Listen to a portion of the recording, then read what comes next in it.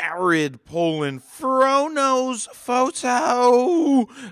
And yes, my voice is slightly a little raspy after three days of shooting the FroKnows Photo video guide, the next guide that's coming out. And today's a snow day, so I would figured I'd catch up on making a Squarespace rapid fire critique. And this time we've got Jonathan Tate Photography, and this is what his website says. It says, The world is black and white through my eyes dot dot dot. So we will see if that is the case. So first things first his squarespace page i believe the template that he's using is called wells. That is similar to the one that i use on mine. So that's something that i definitely definitely like. So one thing i first noticed up here oh i want to turn off desktop icons for the time being. One thing that i saw up here is it's Jonathan Tate Photography.squarespace.com. Now, that's very difficult to uh, send somebody to. Squarespace, I believe, when you sign up for a year, gives you a free domain name. Now, you don't have to use them for the domain name. I use a company called aplus.net. I believe it's $12.99 a year or $10.99. I think it went up to $12.99 a year for a domain. I would purchase my own domain name separately so that you know, in case you leave Squarespace one day, you still have your domain. I don't know how they do it, whether you get to keep it or can transfer it. Maybe they do. I'm sure they make it easy. But in this case, I like to purchase it on my own so I control it. So I would like to see that you do that. Get Jonathan Tate photo, probably uh, opposed to photography. That way, uh, it's not so long. You got to look at how long domain names are. You got to try to make it easy for people to to uh, to find your site and, and to spell it out, especially on mobile devices.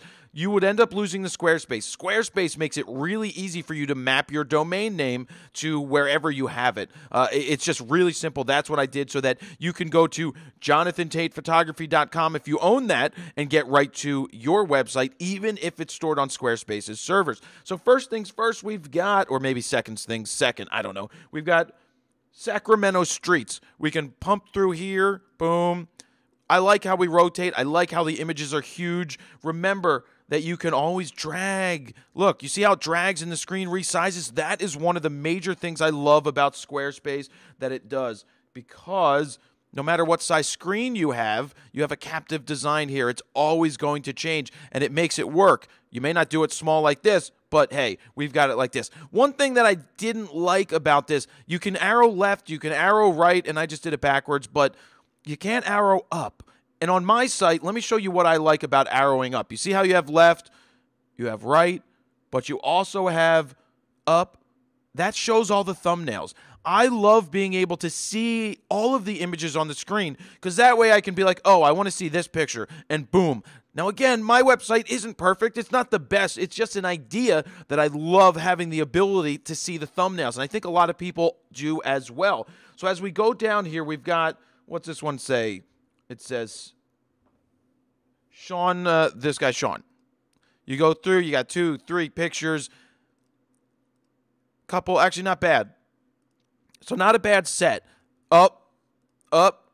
What is this? Why is there a color picture on your site? See, this is one thing you're either going to have to do or not do. If you say that, uh, the world is black and white through your eyes, then every single image on your page, you got to live by that. That needs to be your thing. If that's your style and what you're going for, then everything on your website, Jonathan, should be black and white, especially with a tagline like that. Uh, I don't think that's too much to say, especially if you're going to say it then then own it. Then be that guy that sees the world through black and white. So I like this scene. I like what's going on here. What I would consider doing on the side here is maybe making these more bold so that you can see them and not just when you highlight them. I like it bold so it stands out and I can see it from a distance. Um, also, maybe have a section called photo stories or portrait stories where you put this guy and then this Relic 45, which is a band, I believe. Uh, same thing. Have that under photo stories or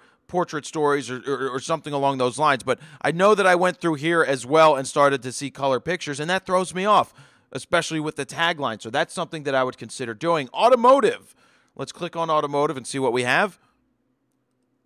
We've got one picture. All right, so it's not a portfolio with one picture, it's just a picture. Maybe you should have a miscellaneous section for certain images if you're not ready to put up more about automotive because it kind of is like if somebody's coming to your site to hire you and they're looking at everything else and they want your portraits, but they come up to auto- automotive and they see one shot, it's like, why? Why do I only have one shot here? So either hold off on putting this up. Yeah, I wouldn't even put it up at all until you have more automotive shots or have a miscellaneous section of my personal choices, my fun shots, where you just have a miscellaneous area where the images go. So we've got the homeless project, which I went through earlier. I think is a, some very nice images on here. Uh, Again, I would like to see the thumbnails. This is great. Very nice in black and white. I'd move this up higher, maybe under Sacramento stories. This is or personal stories or personal projects. This is really it's it's very powerful. And there's not that many images here. I'd like to see at least 15 to 20 pictures in a portfolio that you put up here. I rather see less sections but more solid images. These are solid images, but I want to see just a little bit more of them before you uh, put other things up. So we click on animals. And again, we just have one picture. It's it, it shouldn't be here like this. You need to get that into the miscellaneous or have a set of animals. I could say 10 pictures, all right? I wouldn't say go less than 10 pictures when you're putting up a section. Through the Looking Glass blog, I like that you have a blog on here as long as you update it more often and, and you just keep people coming back for more. Blog posts are very important on a photo website. People come back. Where do you think I started? When I started jaredpolin.com, it was with a Squarespace at the time, and I had it in a blog style. And I put up my portfolio and I put up my images, but I also had a blog, and people started to follow it for whatever reason. I don't know why. I wasn't very good back then with uh, my making videos, but people just they came back because it was a place to see content. And so updating stuff like this about your personal stories or hey, look, I went and photographed the homeless guys and I did an interview or here's my story and here's what I feel. People start to get a personal appreciation for that and they feel attached to what you're doing and then they're going to come back for more. So then we've got shop.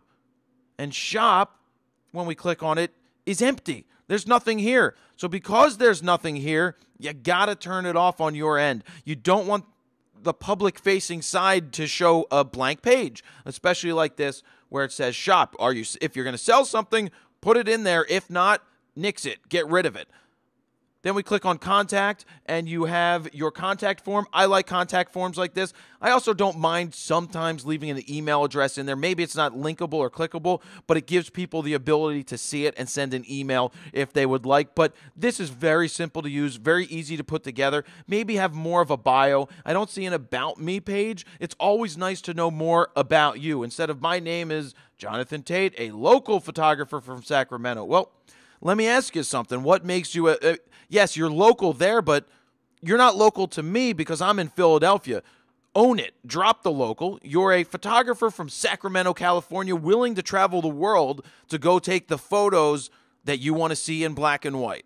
I don't know, I just came up with that off the top of my head. But if you see the world through black and white, you know, my name's Jonathan Tate, a photographer from Sacramento, California, capturing images of the world in black and white. If you need me to travel around, if you need me to travel anywhere, I am fully capable and ready to go. So contact me here or leave your email address and things like that. So those that's marketing, that's that's a little bit of salesmanship right there. You're selling yourself. Don't sell yourself short as just a local photographer. That comes across as saying, "Well, I guess you're not global."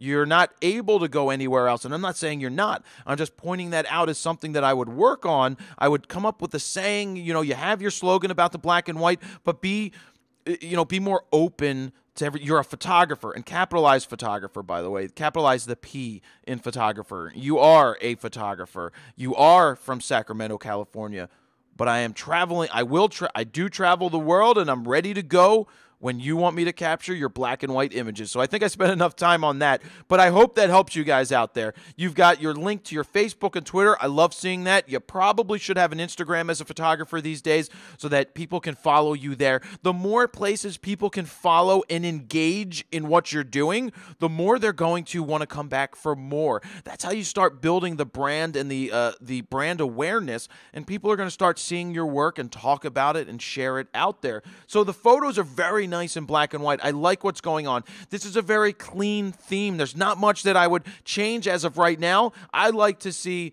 drop down menus of sorts if you have got multiple photo stories. I would see a little bit less here because once you get rid of automotive, once you get rid of animal, and once you get rid of shop, it kind of condenses down and is much better uh, than where it's at now because those just clog it up and they don't really show you anything. Your photo stories are pretty cool. I like them, but let's work on this left hand side and maybe have some drop down menus where you put miscellaneous projects, animals, and, and just put the photos in there. So, not bad at all, guys. This is a Squarespace rapid fire critique. If you haven't checked out squarespace.com yet, go to squarespace.com/fro and if you well, you can sign up for a 14-day free trial and after that, if you decide that you want to sign up for a subscription, use the code FROTUBE at checkout and that's going to give you 10% off your first order. So that means if you sign up for 1 month, you're going to get 10% off for that 1 month, or if you sign up for a year, you're going to get 10% off that entire year, which is I think something like $84 for the year. That is not bad. And that includes the hosting and all of the customer support 24 hours a day. I like it. Check it out for yourself for those 14 days free trials. If you want to submit your rapid fire critiques, you can do so leaving them here underneath this YouTube video as a comment. I will see those links. And I, there's only so many of these I can make, but I will keep trying to make them uh, and leave some comments with what you want to see me do with some of these critiques. So there you guys have it. Go to squarespace.com slash fro. Use code FROTUBE to save 10% off. And that is about it. Jared Polin Fro knows photo.com. See ya.